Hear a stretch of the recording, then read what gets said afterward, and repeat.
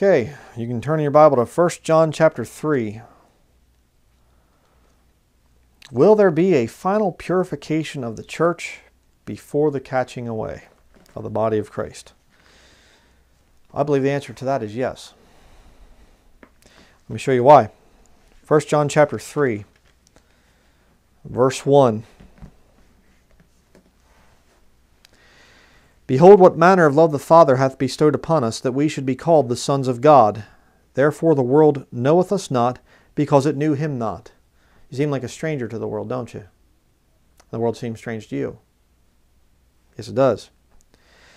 Beloved, now are we the sons of God, and it doth not yet appear what we shall be, but when we but we know that when he shall appear we shall be like him, for we shall see him as he is. I do believe that we will be conformed to the image of Jesus Christ. I think we're going to look like him.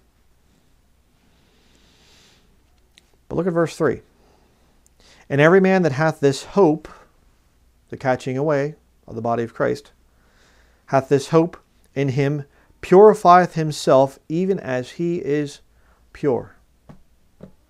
You know, I just uh, got a letter. I'm going to tell you this real quickly. I got a letter here today, and um, I have some. Can't tell who they are because I don't want people coming here and things. It's just a story I'm trying to illustrate a point. Stick with me.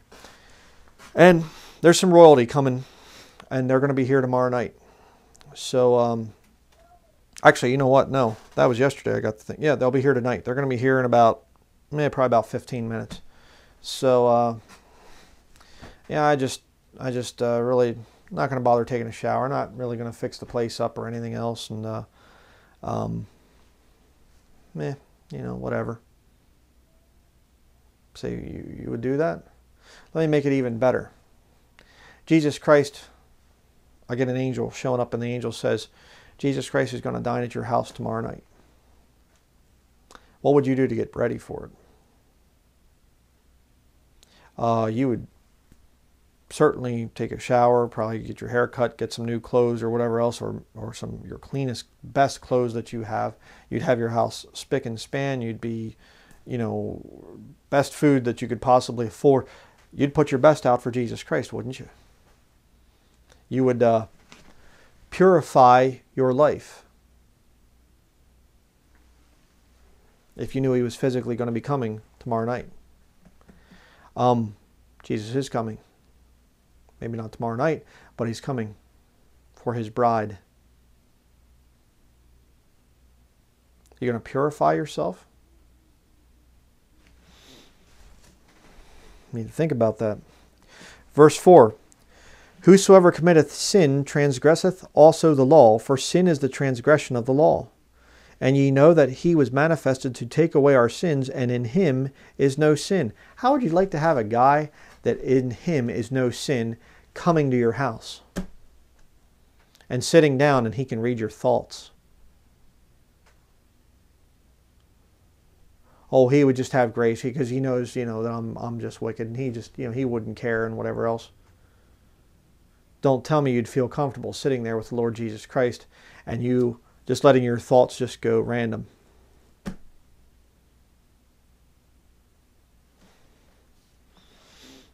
You'd want to purify yourself. Verse 6 Whosoever abideth in him sinneth not. Whosoever sinneth hath not seen him, neither known him sinneth not? I know this is a big debate thing back and forth. Well, is it talking about technically, you know, his righteousness is imputed to you, so your sins are not charged to you, and blah, blah, blah. That's not what the text is saying. And again, you get the little philosophical, easy believers and people, well, it's impossible to live without sin and all this stuff. You're teaching sinless perfectionism and all this other. Yeah.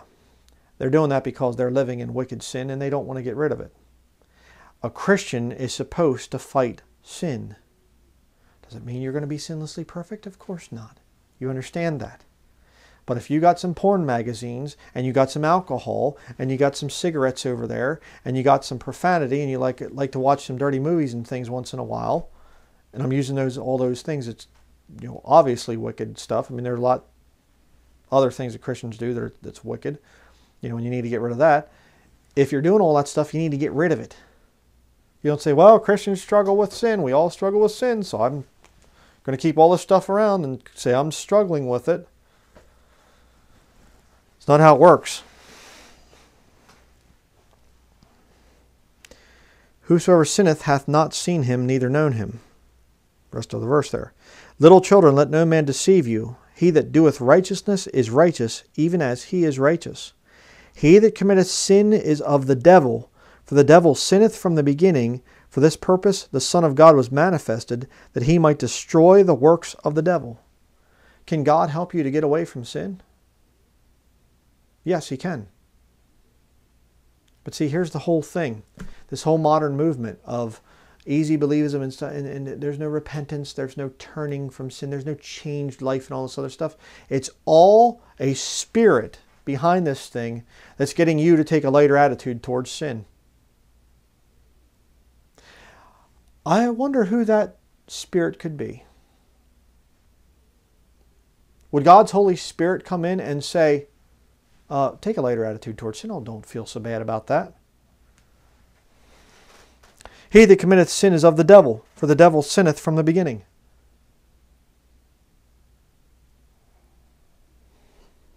Think about that. Whosoever is born of God doth not commit sin, for his seed remaineth in him, and he cannot sin because he is born of God. And again, there you have that imputed righteousness. I understand that. You know, your sins are paid for. I get that. But you don't take that and say, okay, then I don't have to fight sin. I don't have to clean my life up. That's the issue here. Verse 10 In this the children of God are manifest, and the children of the devil. Whosoever doeth not righteousness is not of God, neither he that loveth not his brother. For this is the message that ye heard from the beginning, that we should love one another. All right? And certainly that's true. But uh, we have this warped idea of love being tolerance. Um, love is not tolerance. Okay? Love is not compromise. There's charity.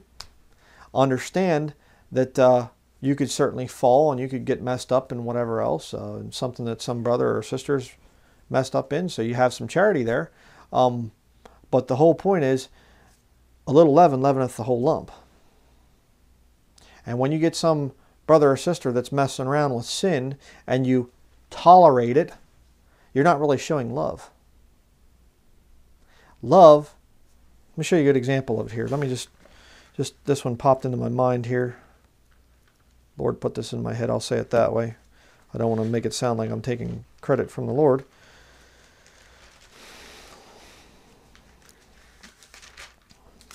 Give you a good one here. Uh, 2 Thessalonians chapter 3. Verse 10 For even when we were with you, this we commanded you, that if any would not work, neither should he eat. For we hear that there are some which work which walk among you disorderly, working not at all, but are busybodies. Now them that are such we command and exhort by our Lord Jesus Christ, that with quietness they work and eat their own bread. But ye, brethren, be not weary in well doing. And if any man obey not our word by this epistle, note that man, and have no company with him, that he may be ashamed. But look at this. Yet count him not as an enemy, but admonish him as a brother. True love is saying, I'm noting you, and I'm not going to have any company with you until you get that thing fixed up. Until I see some genuine repentance there. You get some guy that commits adultery, some young guy that commits fornication and whatever else, and you say, Come on in. Oh, sit beside my daughter over here. I don't think so. Oh, uh, walk over there and sit beside my little boy sitting over there. You say you've had struggles with uh, sodomy or struggles with whatever. Yeah, just sit there by my son. No, I don't think so. Get out. You are a fornicator. You are an adulterer. You are this. You are that. Out. Purify. You see? That's how it's supposed to be. Let me show you another good thing, another neat tie in here. Exodus chapter 32.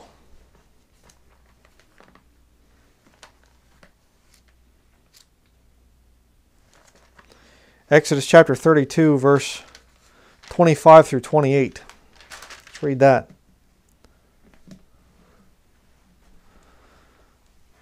Some really good key scripture type of stuff here. And when Moses saw that the people were naked, for Aaron had made them naked unto their shame among their enemies. Remember that. Then Moses stood in the gate of the camp and said, Who is on the Lord's side? Let him come unto me. And all the sons of Levi gathered themselves together unto him. The tribe of Levi, those that were handling the word of God. Hmm, almost like you could call those the Bible believing of the Jewish world, Bible believing Jews, so to speak. Who is on the Lord's side? Let him come unto me. The guys that knew the book, the guys that handled the Word of God, they came over and they said, We're on your side. You a Bible believing Christian? Are you on the Lord's side? Let him come unto me. Come up hither. No tie ins, of course. Verse 27 And he said unto them, Thus saith the Lord God of Israel, Put every man his sword by his side. The word of God is quick and powerful and sharper than any two edged sword. Put every man his sword by his side, and go in and out from gate to gate throughout the camp, and slay every man his brother, and every man his companion, and every man his neighbor. And the children of Levi did according to the word of Moses, and there fell of the people that day around 3,000 men. Hmm. Um, I don't want to judge you, brother. I, I don't, I don't, I, let's, we're just going to agree to disagree. And I, I, I think, you know, maybe you should, you know, no, go in there and say, you're messing around in adultery? Wham! Sorry. Put away from among, among yourselves that wicked person. Hey, you're not working? Wham! Hit him. Hey, you're a young woman dressing immodestly? Wham! Put every man his sword by his side. You see? Purify the body of Christ. How? By judging according to the word of God. Why? Because you love the brethren. Tolerance for sin is not love. We need to raise the standards. This standard, the Word of God, it's above all the junk down here. The rest of all the worldly books and everything else that's down here, the new versions and all the philosophers and everything else. It's the book. The only connection that we have physical connection that we really have to the Lord Jesus Christ is His Word. Oh, it doesn't matter which version you use, you're deceived. You're very deceived. We need to have a standard, not many standards which we prefer, or I don't prefer, or whatever else. The body of Christ will never be unified if we have multiple standards. We need one book, a book that's been proven for over 400 years the King James Bible and no other.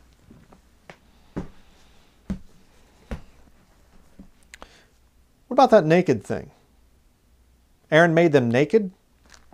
Turn to Revelation chapter 3. If you've been in the Word for a while, you know where I'm going. Revelation chapter 3.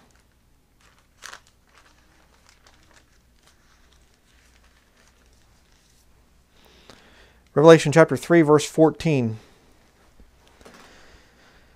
And unto the angel of the church of the Laodiceans write, These things saith the Amen, the faithful and true witness, the beginning of the creation of God. I know thy works, that thou art neither cold nor hot. I would thou wert cold or hot. You say, well, that's just talking to the church of Laodicea. That's in the first century. It's just there, and, and there's no application for today. Cracks me up. I've heard non dispensationalists say that. They attack dispensational believers and they'll say, you just cut out whole parts, parts of the Bible and say, that's not for me, that's not for me. And then they turn right around, these, these fools, they turn right around and they say, this is just to local churches, it has no application to today. Excuse me? You know, all scripture, 2 Timothy 3:16, all scripture is given by inspiration of God and is profitable for doctrine, for reproof, for correction, for instruction in righteousness. Somehow they miss that.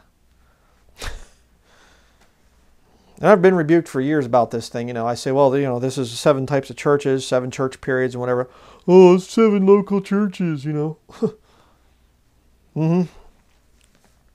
No, it's actually instruction in righteousness. And there's doctrinal things here and some reproof, that's what you're getting right now, and correction. I know thy works. Read this already, but I want to make a point. I know thy works, that thou art neither cold nor hot. I would thou wert cold or hot. Lord would have you be one way or another, not compromising, tolerant, and all this other stuff. So then, because thou art lukewarm and neither cold nor hot, I will spew thee out of my mouth. That's a scary thing.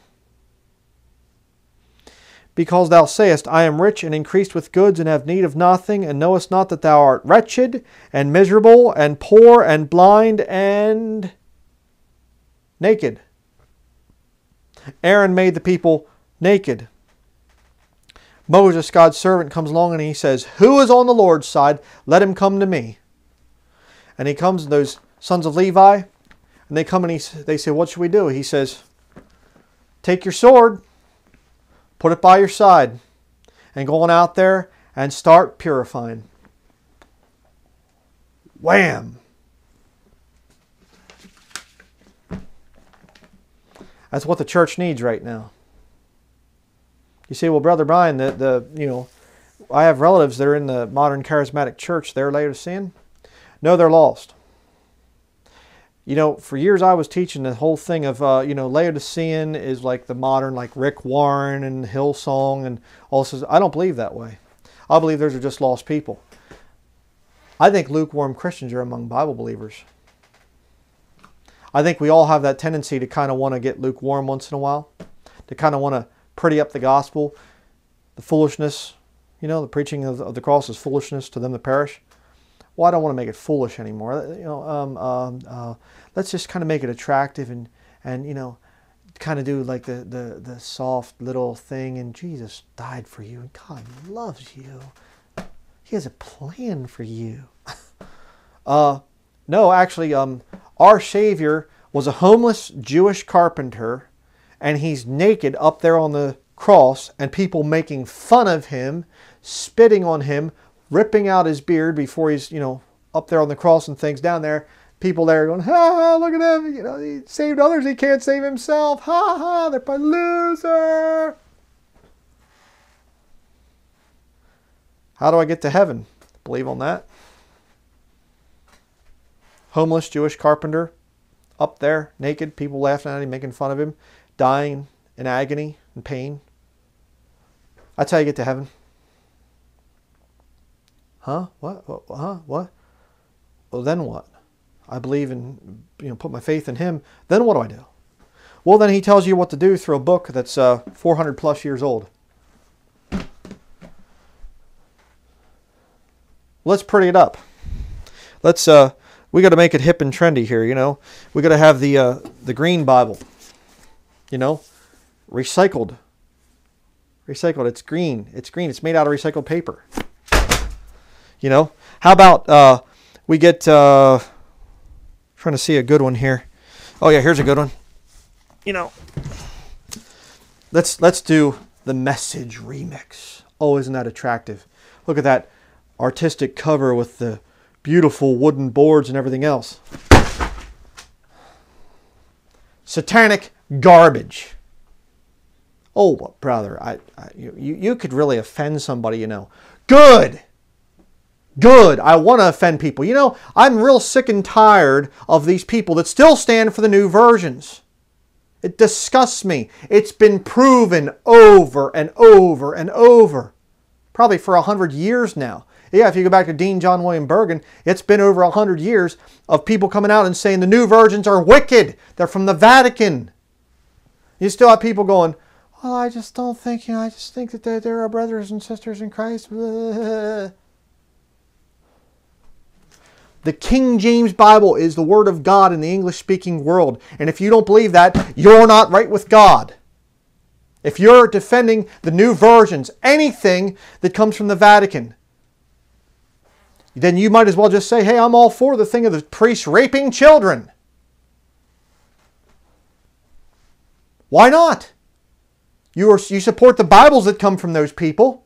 I've showed in my Real Bible Version Issue Exposed online for free on this channel in multiple parts and on the secondary channel as the full thing, high definition, the whole deal. And I show the quotes from the Council of Trent. I show the things from Vatican II where they're saying, let's work together with separated brethren to create new Bible versions. I show the thing, the making of the NIV, where they say we created part of the translation at the University of Salamanca in Spain, and a Catholic nuns are running the thing where the translators of the NIV are working on it.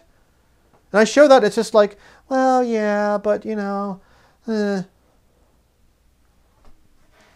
I'm not going to argue with people if they use a new version. Then you're not right with God. You're lukewarm. You make God sick.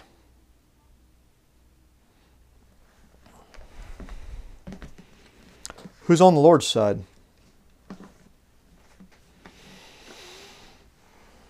Verse 18 I counsel thee to buy of me gold tried in the fire, that thou mayest be rich, and white raiment, that thou mayest be clothed, and that the shame of thy nakedness do not appear, and anoint thine eyes with eye salve, that thou mayest see. When the Lord returns, is he going to find you worshiping idols? Down there naked? Looking like the world? Or are you going to have the righteousness of Jesus Christ on you? Are you going to be living holy and separate clean compared to the lost world. How's it going to be?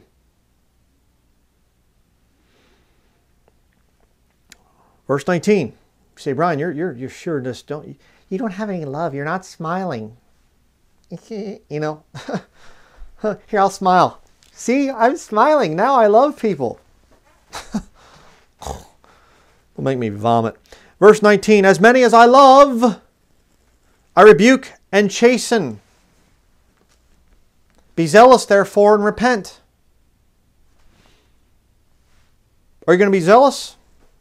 Jesus Christ is coming. Are you going to purify your life? Are you going to get cleaned up with the washing of water by the Word?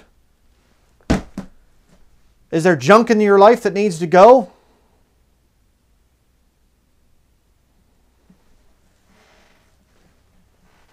Verse 20 Behold, I stand at the door and knock. If any man hear my voice and open the door, I will come into him and will sup with him, and he with me.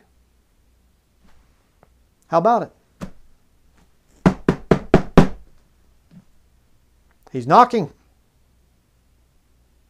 What is it that opens up here in uh, Revelation chapter 4, verse 1? And after this I looked, and behold, a door was opened in heaven. Jesus said, I am the door. John chapter 10. What if he's up there in heaven looking down, kind of like through the window of the door, and he's just kind of looking down? What if the Lord is waiting for the church to purify itself? I mean, if the rapture happened tonight, um, would people understand why you left if you're a Christian? Would they say, well, I hear people saying it was this rapture thing or something, the catching away, you know. I, I hear people saying it was the catching away, you know. It, it, why would they have left? They were no different than me. Or they say, oh, I don't care what happened, I'm just glad to get rid of old Holy Joe over here. Why, sure, I'm glad. The person's always there, always judging my sins, always judging this and judging that always carrying their Bible around. They got things on their vehicle and bumper magnets and stuff. You got behind this nut the one time, you know. I remember I was at a hardware store the one time up in uh, Eldred, or not up, excuse me, down, way down in Pennsylvania. And I had my truck out there and I had my, you know, Bible magnets on it and stuff. And this guy comes in, I'm at another part of the store and I hear him saying to the woman behind the cash register, he goes, I hear him laughing about my truck, and he goes, "Yeah," he goes, "It just kind of reminds me of the old saying: some people are all mixed up." And he said that you know Christians are like concrete, all mixed up and set in their ways. Praise the Lord. Praise the Lord. I'm glad for that. I find that to be honorable.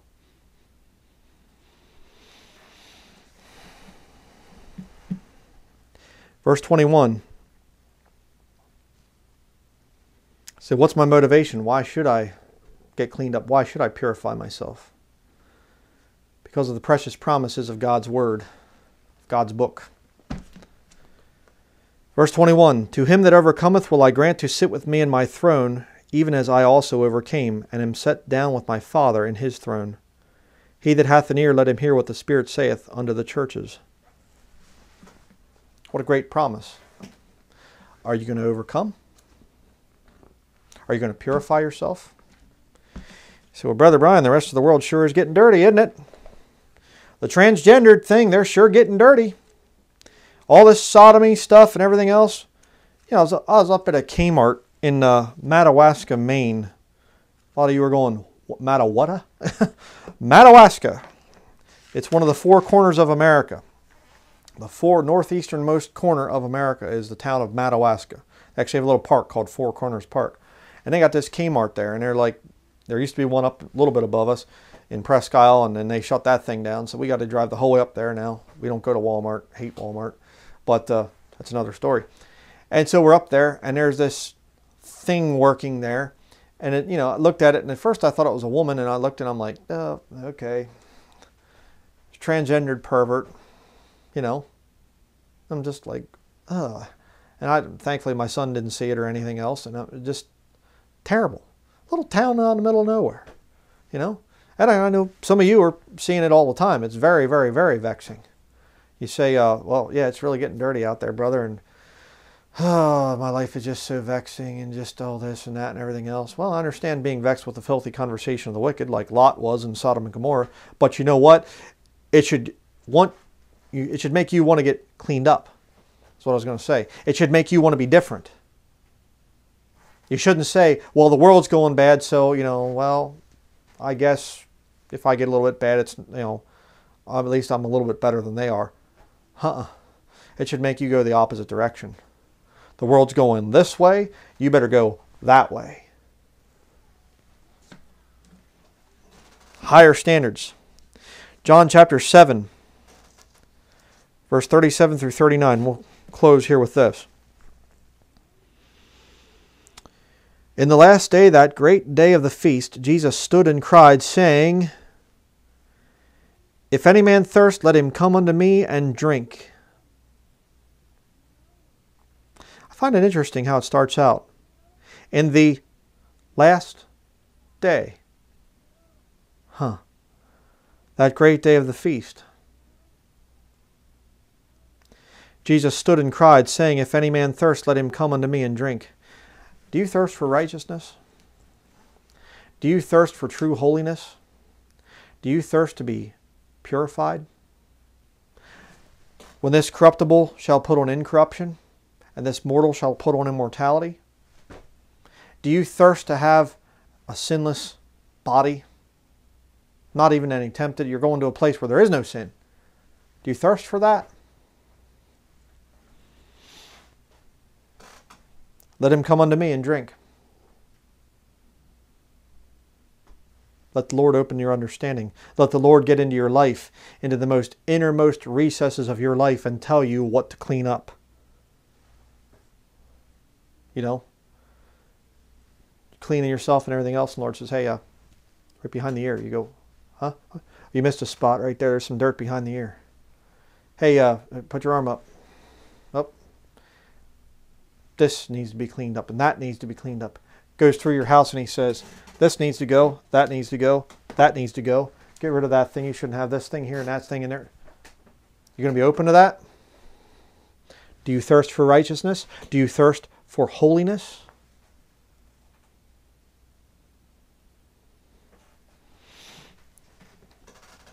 Verse 38 He that believeth on me, as the scripture hath said, out of his belly shall flow rivers of living water. But this spake he of the Spirit which they that had or they that believe on him should receive, for the Holy Ghost was not yet given, because that Jesus was not yet glorified. Um, has the Holy Ghost been given to you, Christian? Yes? Then what excuse do you have for keeping sin around? For remaining dirty? When the Lord says, purify yourself. What if the reason that the rapture hasn't happened yet is because Christ's church has not purified itself? because we're putting up with sin. Well, I don't want to tell people that they need to get rid of their television, and I don't want to tell women to dress modestly, and I don't want to tell people that, you know, to abstain from alcohol and things like that if you're getting drunk with it and whatever else. All that stuff. All these different things. You say, well, brother, I believe that the trigger for the rapture is going to be that last soul that gets saved. Well, how is there going to be a last soul that gets saved when we're so dirty and filthy? Hey, Catholic, you want to get saved? Come on over here. It's safe over here. Oh, wait, yeah. Baptist, King James only preachers and things like this molesting children. Oops, sorry. You know, the brother that I dealt with the, the years ago and stuff requested prayer and things like that, and, and a lot of you helped out you know, with his legal case and things, financially helping to put the, you know, Baptist pervert preacher in prison, you know. And he said there were there were people, members of the church that were coming to him and saying, "Why didn't you go to the pastor privately?" The guy molested his two daughters, eight-year-old girls, and the people were going, "You should have come to him privately. Why'd you have to make a big thing of this?" You see? That's what's going on. And I see this thing all the time in the body of Christ. And it's just like, well, brother so and so, they use the King James Bible and, and they're, they're you know, they're they're maybe off in a few things. Stop watching them. Let's raise the standards higher. We have to raise the standards higher. That's the only way to purify the church. I mean, or or let's just keep wasting our time and just keep taking a light attitude towards sin so we can stay on this earth longer. That's a brilliant idea. Oh, it's so vexing out there to see the world and things. Yes, I know. Let's purify the church so we can leave, so we can get that last person right. Every man that hath this hope in him purifieth himself. 1 John chapter 3, verse 3. Are we going to purify ourselves? Stand up and say, Who is on the Lord's side? Let him come unto me. Take your sword, get it by your side. Who needs to be whacked with it? raise the standards higher.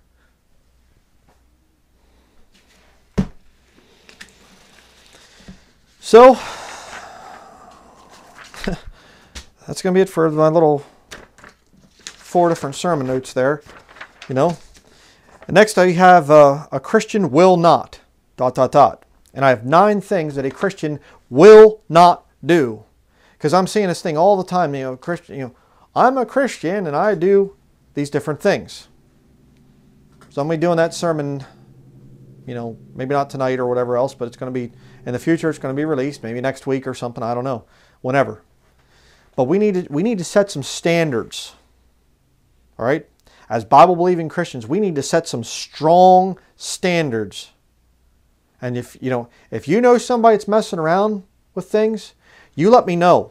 Okay? You see somebody down in the comments and they're playing the little game and everything else, and I'm a, oh, praise the Lord, brother, and oh, I'm praying for you, sister, and I'm praying, blah, blah, blah, blah, blah, and all this other stuff, and you know that they're messing around in sin, let me know. All right? And I'll start going after him. And I want to know. I want to know who's on the Lord's side who's willing to take up the sword of the Spirit and not compromise, who's willing to say, I want to be part of purifying Christ's church. The real church. I'm not talking about Catholicism. That's Satan's church. I'm talking about people that are going to be willing to take a stand for the Bible no matter what it costs them and say, I want to be pure. I don't want to stink when the Lord takes me out of here. I don't want to be Laodicean, neither hot nor cold, but lukewarm and let it begin in my house. Let the Lord say to me, let the Holy Spirit of God come in, into my life and look at every single nook and cranny of me and say, that needs to go, that needs to change. That's what we all need. I think we're going to be here until the church is purified. And as we purify the church, and we get smaller in number, we get stronger. And then that there's people out there that are watching right now and they're saying, I don't know if I want to join this thing because I'm afraid that they're going to just compromise and they're going to this and they're going to that. they see that thing of these are real people. And I'm not going to be able to get in their midst and, and act like I'm a Christian. They'll spot me if I'm a fake, if I'm a fraud. These people look for a changed life. And if they don't see it, you're out. And then and only then are we going to get the real converts, the real Christians, those people that believe in holiness and righteousness and turning from sin. Still struggling, not sinlessly perfect, still struggling with sin, but fighting it on a daily basis. So, that is going to be it. I really do pray that these sermons have challenged some of you out there that are on the fence about different things and are just kind of going, well, you know, uh, uh, and stuff. We need to set our standards high. And we need to go after people with the sword of the Spirit. I pray that you open yourself up to the Lord and you say, Lord, what is it that needs to be cleaned up? I want to be pure when you come. I want to be purified. I want to be acceptable when you as you're knocking on that door and saying, I want to come in and sup with you. I don't want to have to feel ashamed with you dealing with me. I pray you do that today.